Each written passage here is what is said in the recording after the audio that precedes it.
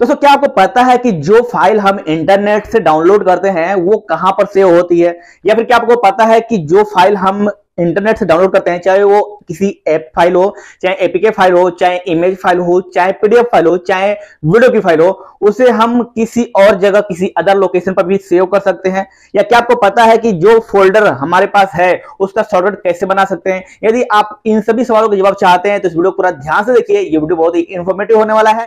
यहाँ पर पिछले कुछ वीडियोस में कमेंट आए थे, किसी फ़ाइल को डाउनलोड करने पर कहाँ सेव होती है लैपटॉप में डाउनलोड ऐप कहाँ पर जाता है पीडीएफ फ़ाइल कहाँ सेव होती है, वगैरह वगैरह। तो इस वीडियो में हम यही सीखेंगे। तो यहाँ पर देखिए, सबसे पहले मैंने यहाँ पर ओपन करके रखा हुआ है user Ramji to data C user user download यानी कि जो हमारा फ़ाइल सेव होता है, वो डायरेक्ट जाता है डाउनलोड फोल्डर में। तो इसका मतलब क्या है कि क्या हम सिर्फ़ इसी फोल्डर में अपने पीडीएफ फ़ाइल को सेव कर सकते हैं या फिर किसी भी डाउनलोड फ़ाइल को सेव कर सकते हैं। इसका जवाब है बिल्कुल नहीं, हम इसे चेंज भी कर सकते हैं। तो फ़िलहाल क्या है कि डायरेक्ट हम किसी भी ब्राउज़र से कोई भी फ़ाइल डाउनलोड करते हैं, चाहे वो ऐप हो, चाहे वो वीडियो हो, चाहे वो इमेज हो, वो सभी जाता है यहाँ पर, यानी कि डाउनलोड वाले फोल्डर में। अब ये फोल्डर कैसे मिलेगा? सिंपल है दिस पीसी को ओपन कीजिए, उसके बाद से यहाँ पर डायरेक्ट डाउनलोड वाला फोल्डर मिल जाता है। इस साइड में भी डाउनलोड वाला फोल्डर मिल जाता है। अब एक बात और है कि अगर आप लोग को डाउनलोड वाला फोल्डर ढूँढने में जो है प्रॉब्लम हो रही है तो आप सिंपली इसका शॉर्टकट बना सकते हो। शॉर्टकट बनाने के लिए सिंपली डाउनलोड वाले यहाँ पर फोल्डर पे क्लिक कीजिए। इस पर राइट क्लिक कीजिए और यहाँ पर शो मोर ऑप्शन पे क्लिक कीजिए। उसके बाद से यहाँ पर फ्रेंड पर क्लिक कीजिए एंड इसको डेस्कटॉप क्रिएट शॉर्टकट पे क्लिक कीजिए। तो इसका जो शॉर्टकट है, वो आपको यहाँ पर मिल जाएगा डेस्कटॉप पर, ठीक है?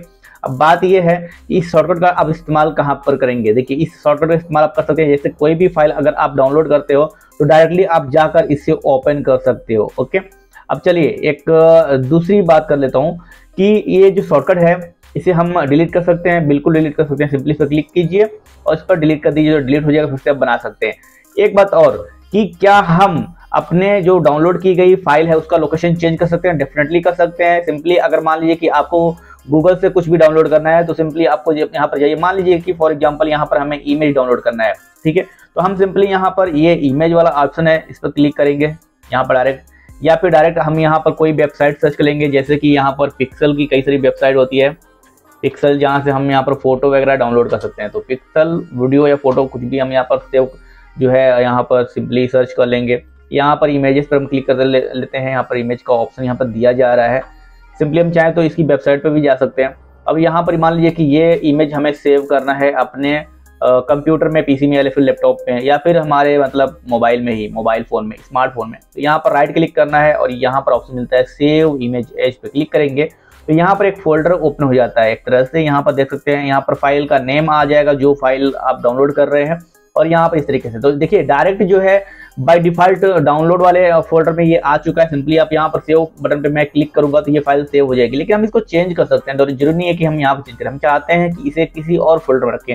तो मैं यहाँ पर जाता हूँ। यहाँ, मैंने यहाँ पर वीडियो कंप्यूटर फोटेज के नाम से यहाँ पर एक जो है फोल्डर बनाया हुआ है। इस पर क्लिक करते हैं और यहाँ पर जाकर हम इसे सेव कर देंगे। हम चाहें तो इसका फ़ाइल का नेम भी चेंज कर सकते हैं। सिंपली हम यहाँ पर जाकर इसको यहाँ पर लिख देते हैं H H H and dot G P G यहाँ पर सेव बटन पर क्लिक करेंगे तो ये फ़ाइल हमारी वहीं पर सेव होगी, जहाँ पर हमने सेव किया। यानी कि ये देखिए, यहाँ पर ऊपर देख सकते हैं कि ये डाउनलोड वाले फोल्डर में नहीं गई है। यहाँ पर, जहाँ पर मैंने सेव इसे किया है, वहाँ पर सेव हुई है। तो इस तरीके से आप लोग पता लगा सकते हैं कि आपकी डाउनलोड की गई फ़ाइल कहाँ पर सेव होती है और आप लोग इसका लोकेशन भी चेंज कर सकते हैं। तो दोस्तों, आज के वीडियो में सीखा कि डाउनलोड किए गए फ़ाइल को कहाँ पर सेव किया जाता है या फिर कहाँ पर बाय डिफ़ॉल्ट सेव होता है। इंटरनेट से डाउनलोड होने वाली जो फाइलें होती है, उसको आप अपने मनपसंद लोकेशन पर कैसे सेव कर सकते हैं।